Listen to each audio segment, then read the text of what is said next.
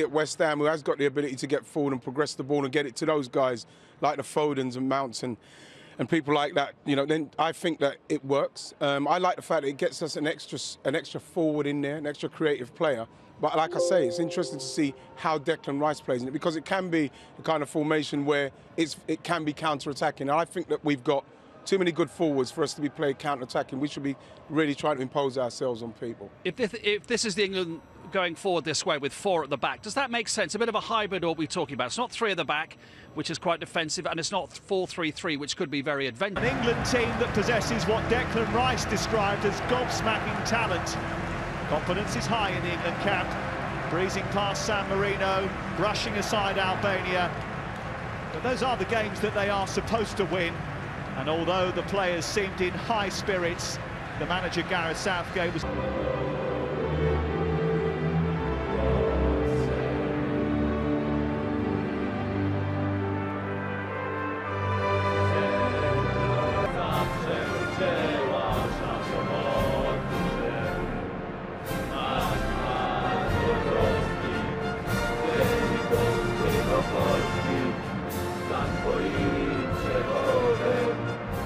protest against any discrimination. England's last competitive action before Gareth Southgate names his squad for the summer. But the England players have to concentrate. Scored at the weekend, now trying to bring Chilwell into play, does that, and here's a chance, and Phil Foden just couldn't angle his header on target. Brilliant. A bit of trickery, and his centre is easily dealt with by Maciej Rybus. Sterling just peeling to the edge of the penalty area. Was there a collision there? Bjorn Kuipers has said, play on. A Dutch referee. Decent looking cross towards Piątek. It was just over the head of Swiderski from the back post. Mounts come close to Sterling. Sterling's looking for Foden again. Good defending by Bednarek. Lovely ball in though, great angle, checking on that right foot. Foden. Looking for Chilwell to keep going, and he does. And England win their first corner of the game. Yeah, good play. Penalty area, Sterling by the goalkeeper. Onto his City his teammate Sterling, still going. Oh, he's gone down. That's going to be a penalty. Well, it looked like a rash challenge. There is no and 17. And he scored in this one too. Harry Kane has now scored more penalties than anyone else for England. And he nudges them in front. Well, you can rely on him. He just waits for Szczesny to go. He knows he's going to play straight down the middle. But also... Swiderski.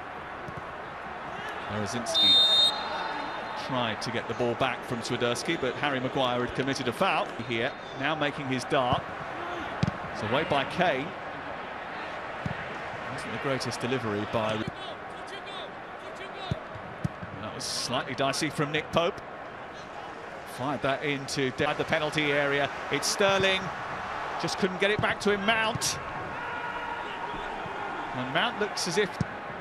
Swiderski.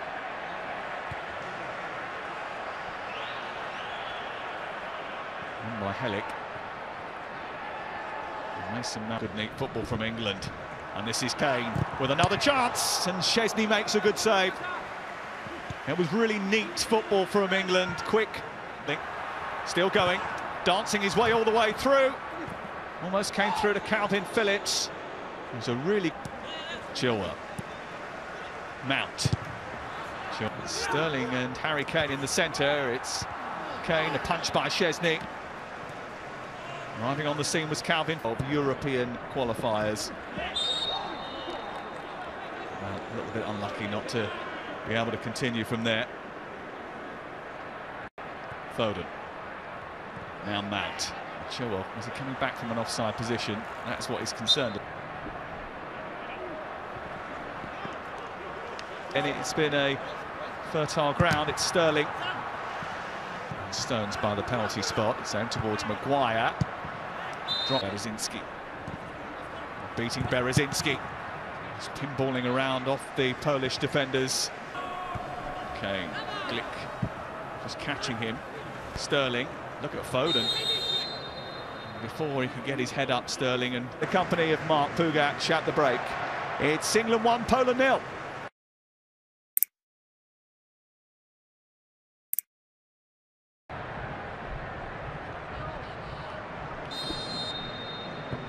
These two nations are old friends. No other teams have been paired. Now Walker, decent looking cross. There was a bit of a tug on Sterling's jersey, but he probably wasn't going to get up there. With what Ashley said about running without the ball, running beyond the back line to get into those spaces and just stretch Poland back towards their own. Mount jinking his way into an advanced position. Kamil Glik with a rather agricultural. It is Phil Foden. He's actually peering over to see whether he could sneak it in at the inside opposition territory.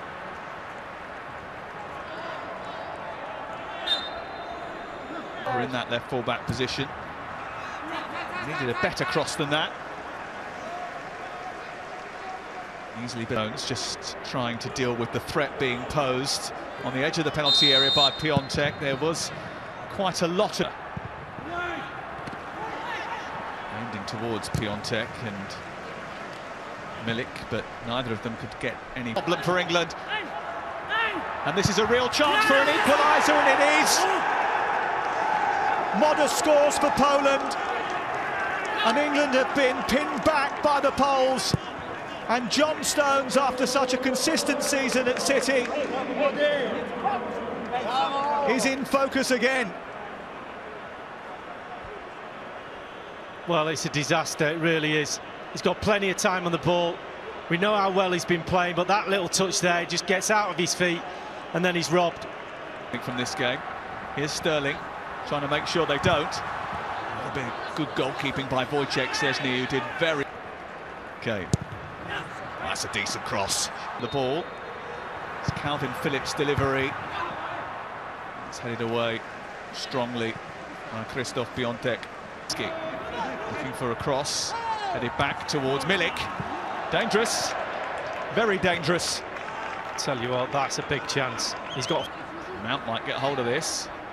He's played a part in the recent delivery to the far post. Stones heads it down. Maguire is there, and England are back in front with a thumping goal from Harry Maguire just when they needed it most. It's another late goal for England.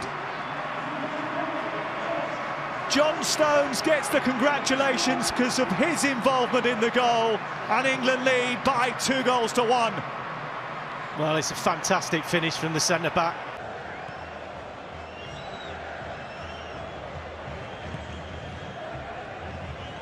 Shoots! Ball's loose, who's getting there? Will be a throw in. It's going to be a check.